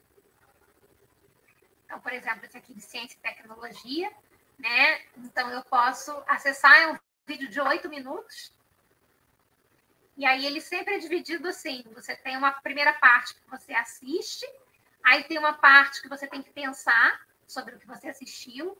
Aí aqui nesse caso aqui dessa atividade tem oito perguntas, de, seis perguntas de múltipla escolha e oito perguntas abertas, tá? Depois tem esse Dig Deeper, que ele traz recursos para você poder expandir aquele assunto, diferentes sites para você pesquisar, consultar. Tem uma parte de discussão, né? Então, aqui nessa atividade tem uma discussão guiada e duas, duas discussões abertas, né? E o finally aqui quando ele termina a atividade, tá? E o legal também é que você pode customizar. Você pode pegar essa lição que foi criada por um professor e customizar de acordo com a sua realidade, para os seus alunos, né? Então, você pega uma lição que foi criada e adapta para o seu contexto. Então, você tem o vídeo aqui do, do TED Ed e as atividades para você fazer. Então, é um recurso, novamente, que dá para você utilizar enquanto professor, né? Passar para os seus alunos. Utilizei muito na pandemia também, criei várias atividades, compartilhei com os alunos, ou reutilizei atividades também já prontas. Ou enquanto aluno, você pode fazer, aí você vai ficar um pouquinho mais limitado nas questões de, de múltipla escolha, por exemplo, porque aí você consegue ter o feedback é, do que você acertou ou errou, né? E aí as outras partes você aí depende realmente de um professor para poder te dar esse feedback. Mas é bastante interessante, os temas são bastante interessantes, então vale a pena também explorar. E por último, é, o Elo, esse é um site bastante antigo, acho que foi um dos primeiros sites que eu usei, assim com os meus alunos, e ele está aí até hoje. Ele, na verdade, ele é um curso online, né? Ele tem uma parte gratuita, né? E tem uma parte paga também, mas ele tem vários recursos, e o que eu mais gosto nele é que ele traz vídeos curtos é, com falantes de diferentes nacionalidades né? Então, você consegue trabalhar com diferentes accents, diferentes é, sotaques, né? Tanto de falantes nativos do inglês, quanto é, falantes não nativos. Então, você tem toda a questão né, do sotaque, né, de, de ver a pronúncia. Então, é bastante interessante, porque a gente vai se acostuma, às vezes, só com um tipo de inglês, e aí tem dificuldade de entender um, um accent diferente. Então, aqui você tem acesso a diferentes accents, né, de pessoas, você tem o nível, tá? Tem diferentes temas, né? E geralmente você tem questões para você é, responder, né, de compreensão. Tá? Então, tem mais de 3 mil é, atividades gratuitas de compreensão oral, tá? Para todos os níveis. Você pode selecionar por nível aqui em cima, tá? Ou você pode olhar aqui e aí ver qual é o vídeo, o nível e, e, e selecionar, tá? Então, é um material bastante interessante para trabalhar aí a compreensão oral. Tudo bem até aqui, gente? Estou correndo um pouquinho, mas qualquer coisa me alertem aí. Já vou é, fechar. É, vocabulário e gramática, esses aqui acredito que a maioria deve conhecer, né? Principalmente o Quizlet, que o Leonardo falou, e o Kahoot, Kahoot bastante famoso, ficou bastante famoso durante a pandemia. E aí, é claro, né, eles viram uma possibilidade de lucrar, ele era totalmente gratuito, e aí ele passou a ser agora, né, hoje eu já entrei, já tinha um tempinho que eu não entrava, e eu já comecei a ver aqui que você tem é, diferentes materiais que você pode usar de forma gratuita, por exemplo, eu botei aqui tempos verbais, né, então eu tenho materiais é, que eu posso acessar gratuitamente, tem materiais que eu preciso comprar para poder usar, isso é uma novidade, né? E tem outros que eu tenho que me inscrever para poder utilizar, né? Então, mas são materiais bastante interessantes, né, para você ter, principalmente treinar, praticar gramática e vocabulário. Gente, desculpa, minha cachorra está aqui perturbando. Só um minutinho.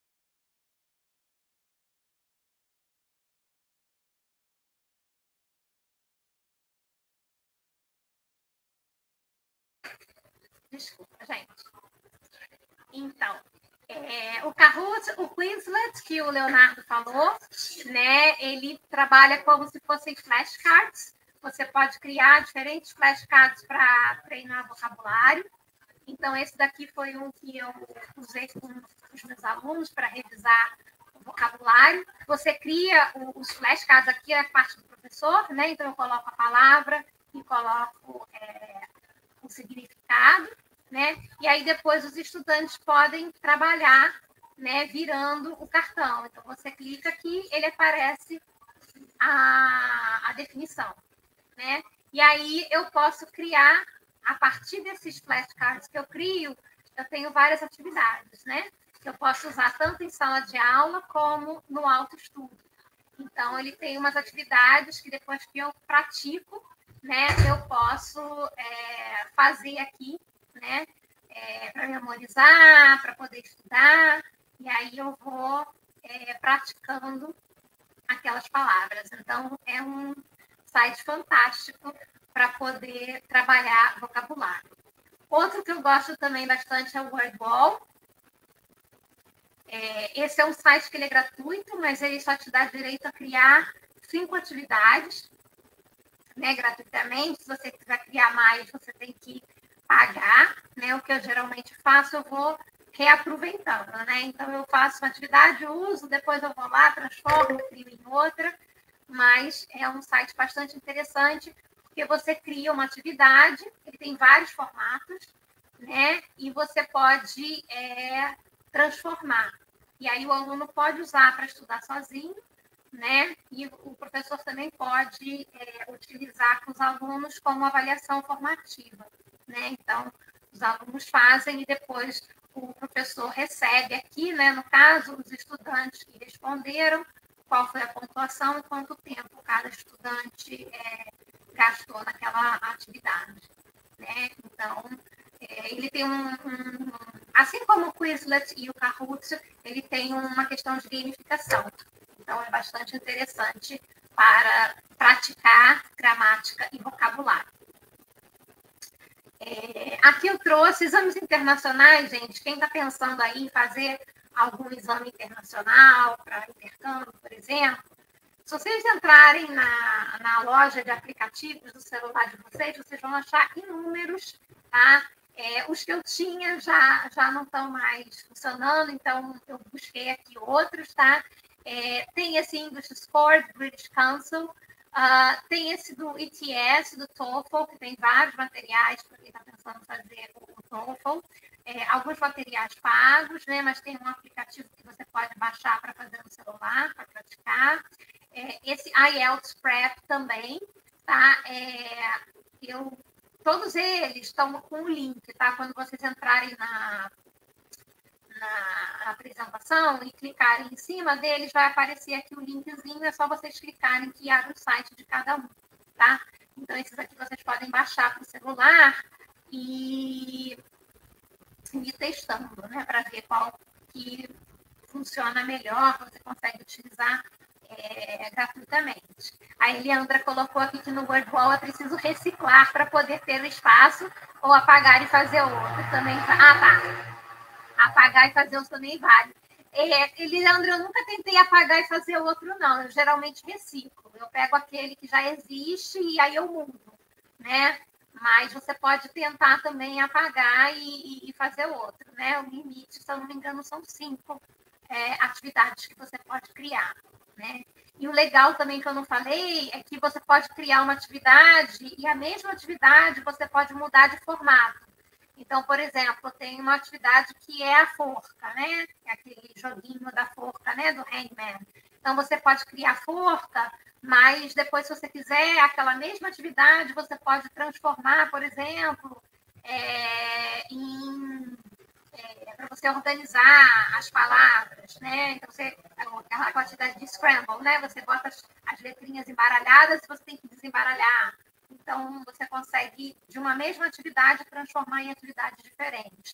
E aí tem várias atividades, jogo da memória, tem quiz, é, tem aqueles quizzes tipo jogo de, de auditório, né? De roleta, que você tem que apostar, você tem que escolher quantos pontos. Então, é bastante interessante. Você pode criar os seus para os seus alunos, ou você também pode ver o que os outros professores já criaram e utilizar para estudar, tá? Então, é bem interessante. Ou você também pode criar os seus para você estudar também, tá? São várias formas. Professora, desculpa te interromper, mas para te lembrar do tempo, falta cinco minutinhos, mais ou menos. Tá, tudo bem. Não, eu já estou finalizando, tá? Já tem, só tem dois slides, tá na verdade, agora. Tá ótimo, tá ótimo. Tá? Obrigada.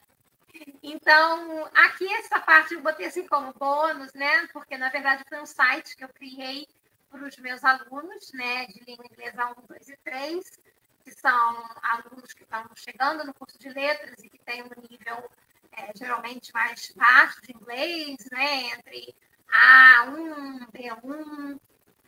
Então, eu criei esse site para poder ajudá-los né, a, a, trabalharem de forma autônoma, né? Então, vários recursos. Estou compartilhando o link com vocês também no, na apresentação.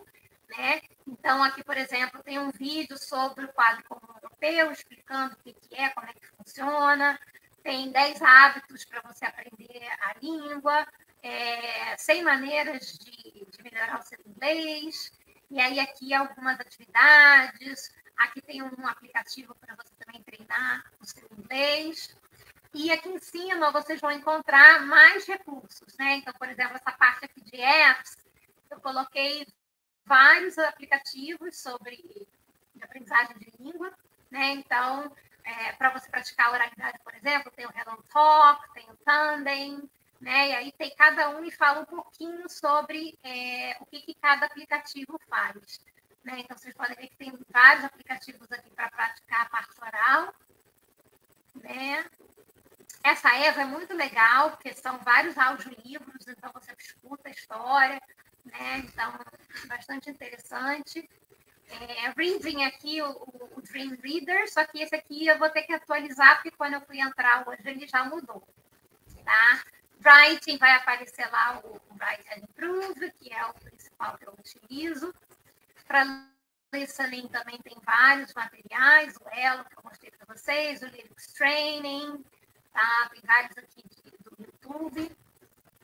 Para speaking, tem alguns sites do YouTube que são bastante interessantes, né? Para pronunciation practice, speaking skills, uh, e para gramática, né? Então, tem aqui o Elo de novo.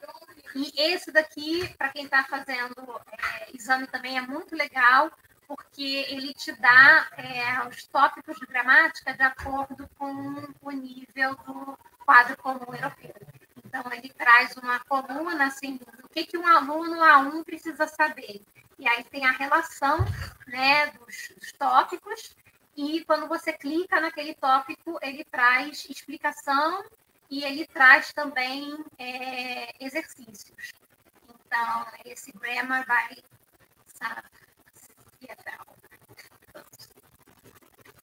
Então, aqui você tem todos os o que, você precisa saber, né? Que eu falei, de acordo com os níveis. E aí você clica aqui e ele traz é, atividades para você poder praticar. Então, é um site bastante interessante. Todos esses materiais estão disponíveis é, nesse site que eu compartilhei aqui com vocês, todos eles voltados para autoestudo. Né?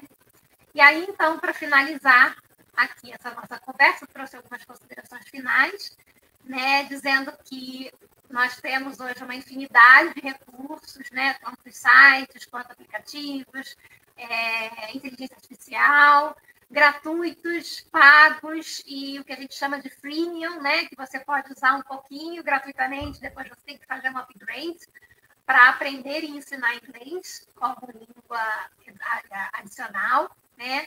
É, a necessidade realmente da gente, enquanto professores, né, incorporar essas tecnologias nas nossas aulas de línguas e a gente, enquanto estudantes de línguas, também aplicar essas tecnologias no autoestudo, né, para a gente poder se beneficiar é, dessas potencialidades. A necessidade de experimentar, né, nem sempre a gente vai se adaptar, você experimenta, ah, não gostei dessa, experimenta outra, ah, essa eu gostei. Né? Então, é importante a gente ir fazendo essas experiências e se adaptar.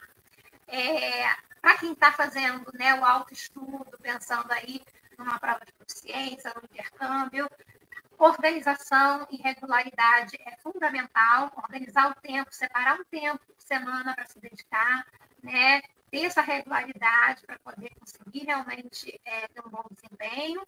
E o registro, né? A gente está falando aqui de tecnologias, várias das tecnologias você faz tudo online, mas você também acaba perdendo. Então, é importante também, utilizando essas tecnologias digitais, a gente ter o hábito de fazer o registro nas tecnologias analógicas, né? Lá no caderninho, é, ter né, realmente algum lugar para você registrar aquilo que você aprendeu para não ficar tão solto, né? E essa prática constante que é fundamental para o aprendizado de qualquer língua, né? A gente só consegue aprender a língua realmente praticando.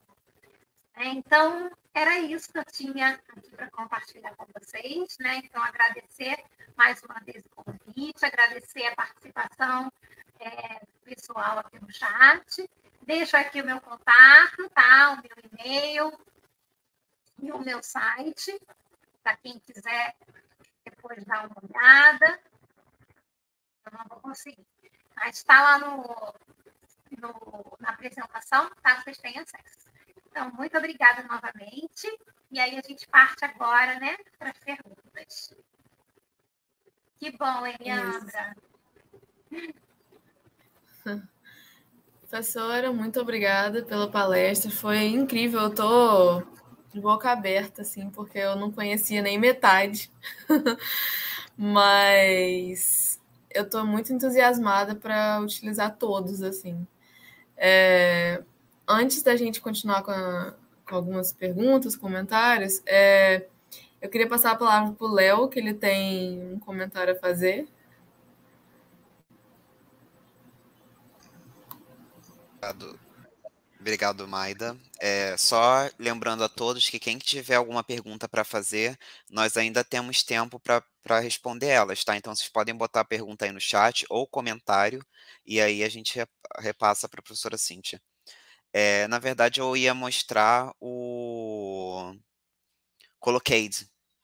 Então, só contar assim um pouco o que é normalmente determinadas palavras co-ocorrem com outras palavras no inglês. E às vezes tem combinações que não são exatamente é, erradas, mas não são comuns. Então eu fiquei de cara, digamos assim, quando a professora é, Paula Tavares, da Unesp, mostrou com dados de é, corpora que é, nós em português dizemos os dados corroboram. E, e aí, quando a gente vai escrever em inglês, às vezes, às vezes a gente tem um inglês avançado e fala uh, the results corroborate e parece um inglês refinado, é, rebuscado. E aí ela mostrou que, na verdade, não a ocorrência é, é, é quase nula de The Results Corroborate. E aí ela mostrou uma ferramenta chamada Collocade, que é justamente para ajudar é, na escrita é, de é, é, com relação a essa questão das collocations, que são essas palavras né, que aparecem juntas com outras, tipicamente. Então eu vou compartilhar aqui é, brevemente. Uh, essa ferramenta tem que fazer um cadastro, tá? É, mas ela é, ela é inteiramente gratuita. E é, lembrando que ela é mais voltada para é, edição é, é, com relação a. Ela não é exatamente que nem Grammarly, ela é mais focada em, em collocations. É, então, por exemplo, eu coloquei aqui, olha, the results corroborate, só para dar um exemplo para vocês. E quando você aperta em results, então aqui como substantivo, noun, aparece results indicates, results suggest, results showed, results support, results revealed. E essas 10 ocorrências aqui de verbos após result são as que são de fato mais comuns é, de aparecerem nos artigos acadêmicos em inglês, escritos em inglês. Então, essa plataforma, ela é primeiro voltada para te ajudar a escrever é, de uma forma mais próxima de como é, nativos escrevem em inglês, uh, no inglês escrito, e também para aprendizagem, porque é, não é à toa que só tem 10 é, palavras aparecendo ali, são 10, se não me engano, 8. Não é à toa que só tem oito verbos sendo indicados aqui, é, que como verbos que aparecem depois de result, tipicamente. Só aparecem esses aqui porque para ajudar você, ajudar a gente que está escrevendo a memorizar, aprender eles. Então, tem algum dado em que eles se basearam, é, dizendo que se eles mostrassem aqui 20 verbos que normalmente acompanham a palavra result, a, a pessoa que está lendo isso aqui para aprender provavelmente não aprenderia, seria demais. Então, eles é, colocam as opções mais comuns. E aí, se você quiser ver mais é, collocations, você aperta em mais. E aí, tem uma extensa lista de verbos que ocorrem com result. Então, o collocated, ele é isso. Ele é que a professora Cintia estava é, perguntando. E ele, é, ele ainda é, se eu não me engano, é, é como se fosse uma versão beta, mas ele é extremamente funcional. Aí depois eu ponho o link aqui Muito no chat. Interessante. Muito interessante, Léo. Muito obrigada, Léo. Adorei. Já vou explorar. Nada, professora. E assim, mais uma vez, eu sei que a Maida vai agradecer também, mas assim, é, muito obrigado pela palestra da senhora e por ter aceitado o nosso convite. Tem alguns comentários aqui para você. Uhum. Obrigada, Sheila, Andara, Leandra. Uhum. Foi é, uma palestra muito boa, de fácil entendimento, então acho que as pessoas nem têm muitas dúvidas, né? Porque é tudo muito intuitivo, assim, entrar nos sites, é realmente, nossa, eu estou muito impressionada. Estou muito feliz de ter participado dessa, dessa palestra e de é, conseguir absorver esse conhecimento que a senhora trouxe para a gente. É, eu tenho uma, algumas perguntinhas que eu preparei, é, duas perguntas e um comentário, na verdade. Vou começar pelo comentário. É, eu achei que o Common Lit que você mostrou e o Ed Puzzle são super interessantes para prova de proficiência e para prova de língua instrumental, porque eles focam muito nessa parte da interpretação.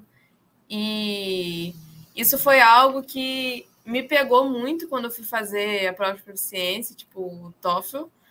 E eu senti que eu não achava muitos sites para ter é, esse tipo de resposta de interpretação, porque é muito subjetivo, não é tão objetivo assim. Mas eu amei esses sites. Você acha que é uma boa ferramenta mesmo? Como que você, qual é a sua opinião? Sim, eu gosto muito. Para a prova de língua experimental, que geralmente é, é compreensão, né? É, leitura, é, o Common Lit ele pode ajudar bastante, né? Como eu falei, ele é voltado para educação básica, né? então não são textos acadêmicos, geralmente no, no, instrumental são textos mais acadêmicos, né? Ali são textos mais voltados para alunos né? mais jovens. Agora, é, pensando aí em exames, por exemplo, o TOEFL, o próprio site do TOEFL, se eu não me engano, se você entrar no site oficial, eles têm um material gratuito, que são, assim, é, provas já utilizadas, né? Então, eles chamam de sample, né? Então, você consegue baixar esses samples e treinar, né? Eu, eu sei que eu, eu, trabalhei algum tempo dando preparatório para o TOEFL e eu usei muito esse material. Então, eu consegui baixar esses samples, né, e, e utilizar. Você entra lá, dá uma olhada no site. Eu acabei não colocando, eu botei só o aplicativo. Mas é só você botar TOEFL, ETS, que ele vai, vai te trazer. Se você não conseguir esses samples, você pode me mandar um e-mail que, se eu não me engano, eu baixei o material e aí eu posso compartilhar com você. Mas é, o interessante é você, se você tem estar com foco numa prova específica, eu, eu sugiro que você utilize os materiais específicos daquela prova, porque eu acho que vão te ajudar mais. O Calmon Leite é uma coisa mais geral, né? Mas você trabalhar a compreensão e geralmente níveis um pouquinho mais iniciais, né? Não tão acadêmicos. Então, o site do próprio Topo pode ajudar bastante. E tem os aplicativos também. Entendi, perfeito. Obrigada. É, uma outra pergunta que eu pensei foi mais voltada agora é, para quem está aprendendo por aprender mesmo, que quer saber uma nova língua, é, o inglês no caso, é, mas que essa pessoa faz um cursinho já. Você acha que é um, uma boa coisa unir um cursinho com um método como com esses sites que você apresentou? É a melhor maneira para aprender inglês? Ou é possível você aprender só com essas tecnologias, caso não tenha acesso a um cursinho? Sim, todas elas. Na verdade, é, eu acho que o ideal, né? Eu acho que nada substitui é, a aula, né? Você ter uma aula uhum. de, de, língua, poder fazer uma aula de língua, né? Ter um professor ali do seu lado.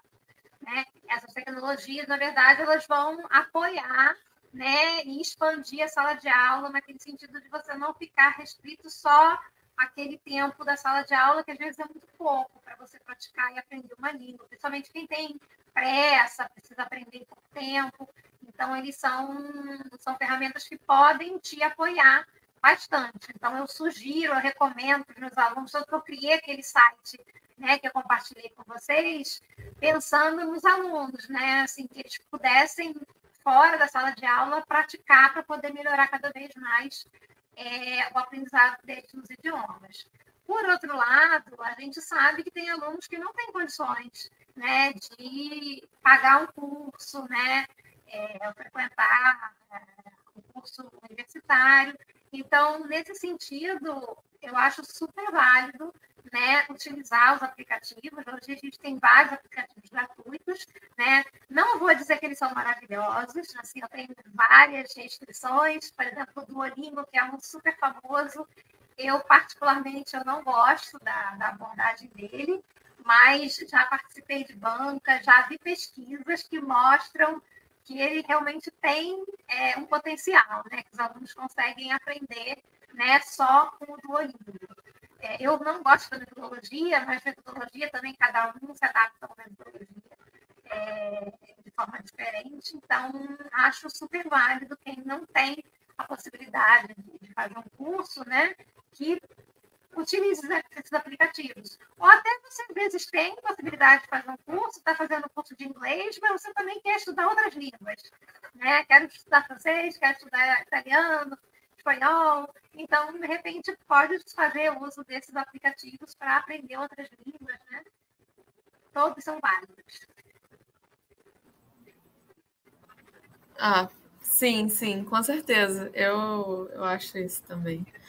É, Agora uma pergunta mais voltada para o. Maida, só um segundo. Professora, a senhora compartilhou o link do Lablínguas do, do, do perfil? Não, não.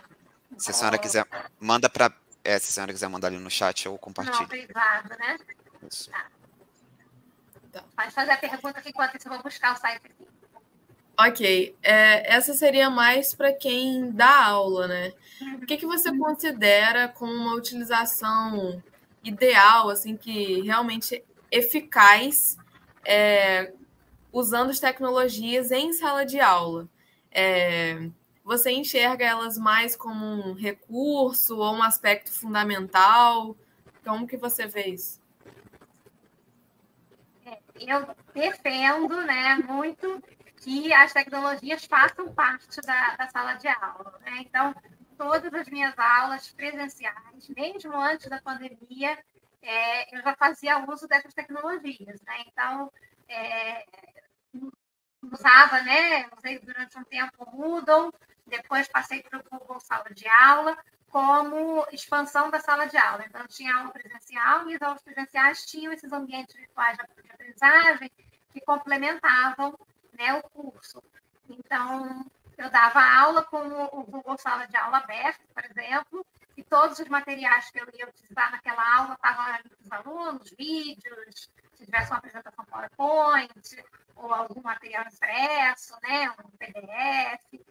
Então, eu defendo esse uso e o uso de diferentes tecnologias, né? principalmente nos cursos de letras, a gente está formando professores. Né? Então, é importante que eles tenham contato com essas tecnologias enquanto aprendizes, né, enquanto professores de formação, para que depois eles possam levar essas tecnologias para a prática deles. Né? Então, a maior parte da, das tecnologias que eu compartilhei aqui com vocês, é, eu utilizei durante as minhas aulas, tanto antes da pandemia quanto durante a pandemia. Lógico que durante a pandemia a gente teve que expandir, usar ainda mais, né?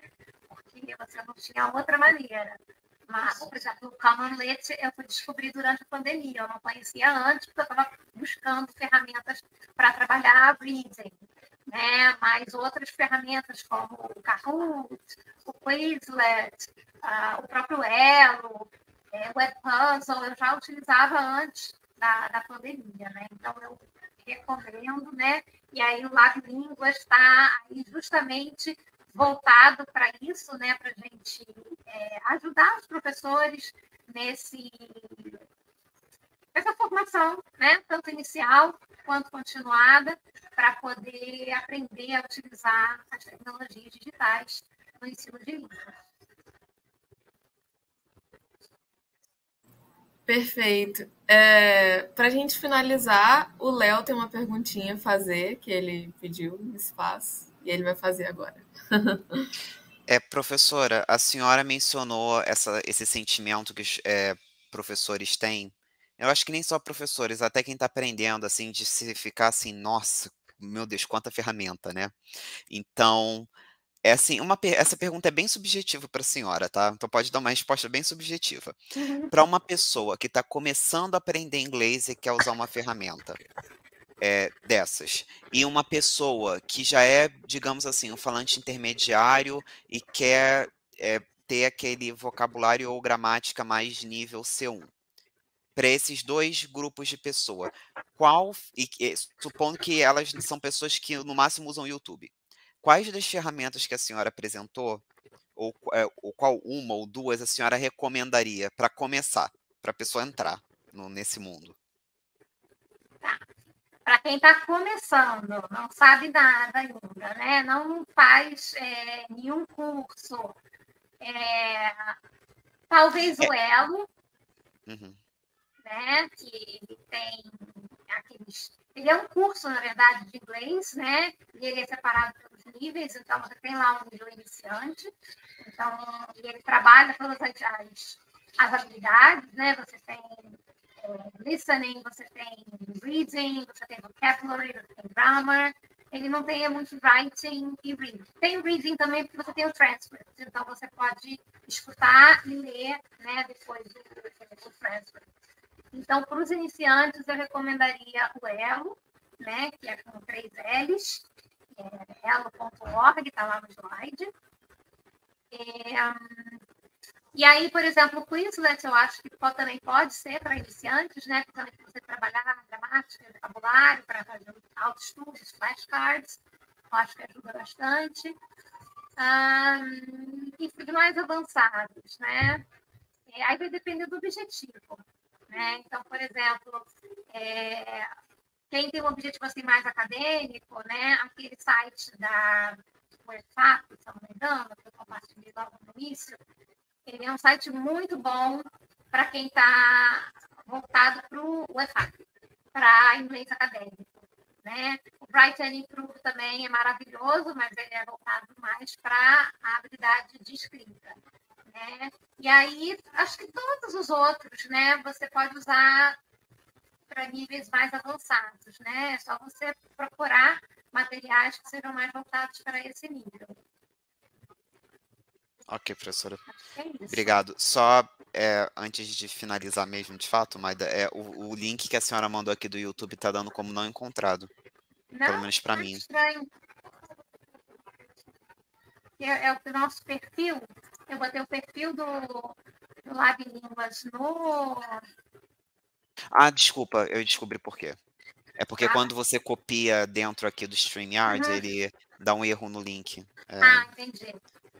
É, aí tem que tirar umas letras no final. Desculpa. Tá. Qualquer coisa, vocês podem procurar no, no YouTube, né? É Lab Língua GREUF. Aí vocês vão encontrar o nosso perfil. É, nesse perfil, a gente tem lá vários vídeos de mini cursos, oficinas que a gente já deu, palestras né, sobre diferentes assuntos, diferentes temas.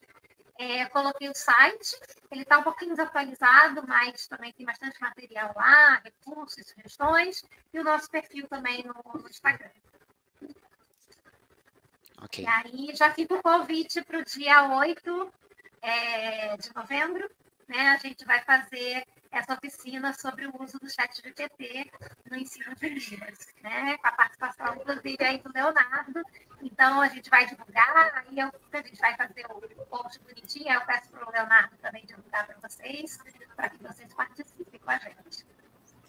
Eu já quero participar desse mini curso. Ótimo. Eu... Então, Não, Leonardo, com certeza. Depois compartilha aí, então, com a, com a Maida e com os demais, né? para participarem, ou então acompanhe a gente pelas redes sociais, que a gente também divulga lá. Tá? Com certeza. Tá, pode deixar. Sim. Bom, então, para finalizar, né, é, quero agradecer novamente a professora. É, foi incrível, incrível, foi ótima a palestra, todo o conhecimento que a gente conseguiu aprender aqui, todas as ferramentas que agora a gente tem que testar. e conhecer mais, para mim, abriu um mundo assim de possibilidades. É, então, estou muito feliz. É, acredito que o Léo também esteja muito feliz. E então, estamos encerrando aqui. E, Léo, você tem alguma palavra, como é a última palestra? É, eu gostaria de agradecer mais uma vez. É, eu é, é, agradeço é, 50 vezes, porque a gente sabe o trabalho, o que o, a carga horária do, do, dos professores é, universitários é, é pesada, é, assim, é muito projeto para fazer e fazer uma apresentação dá trabalho. É, e é, é, tempo da agenda de vocês, e assim, é por isso eu agradeço muito a, a, de novo a gentileza de ter, da senhora ter participado, ter feito, dá para ver que foi preparado assim com muito empenho a, a, a palestra da senhora. É, agradecer também a todos que participaram dessa semana, é, tanto na palestra da professora Cíntia quanto nas demais palestras. Agradecer também ao é, coordenador do programa de pós-graduação em Linguística, professor Jean Damulax, que está sempre, assim, quando a gente fala desses eventos, ele está sempre dando muito apoio. E agradecer também, enfim, por fim, a Maida, que foi é, prestou um grandíssimo auxílio, é, foi parte é, fundamental da organização desse evento e a comissão de eventos do, do programa. Então, é isso. Obrigado a todos. Agradeço também, então, o convite, né? Foi um prazer, né? É sempre muito bom a gente poder compartilhar, né? E, fazer essa rede crescer, né? Esse repertório as ferramentas, a gente compartilha, a gente aprende, a gente troca. Então, muito obrigada mesmo pelo convite, né, de participar. Agradecer a todos aqui que acompanharam, que participaram aqui no chat, né, e espero vê-los novamente no próximo evento. Ok, professora, obrigado.